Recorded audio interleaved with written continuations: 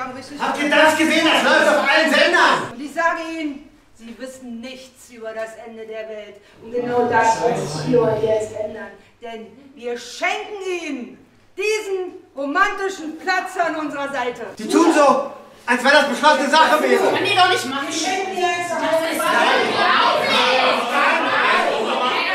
Ich verstehe. Voll und ganz dass das Projekt zuallererst bei Ihnen, den EinwohnerInnen, verankert sein soll. Sie sollen sich ja darauf freuen können, sollen, wollen. Müssen?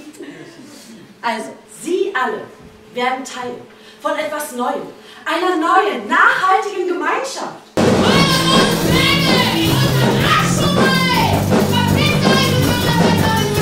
Okay, Kamera läuft und ab. Ich verstehe das nicht. Warum soll das denn jetzt die Innovation sein, wenn da so ein paar Hippies hierher kommen? Ich gehe auf jeden Fall nicht nochmal hin. Das Theater ist nicht mein Ding. Außerdem hat die doch Vogel unterm Pony. Wovon redest du? Bist du jetzt völlig durchgeknallt? Ich rede von diesen Verrückten, die kommen werden. Du weißt schon. Da sage ich doch, dass sie verrückt ist. Psst, nicht so laut. Muss ja nicht gleich jeder hören. Ey, du sag mal, sind die jetzt alle völlig durchgeknallt oder was? Und ich dachte noch, du machst Witze. Ja, das klingt für dich wie ein Fiss, für mich wie eine Chance. Eine Chance? Ist doch nicht dein Ernst, Alter. Naja, du verstehst das nicht. Rote Sonne am Horizont.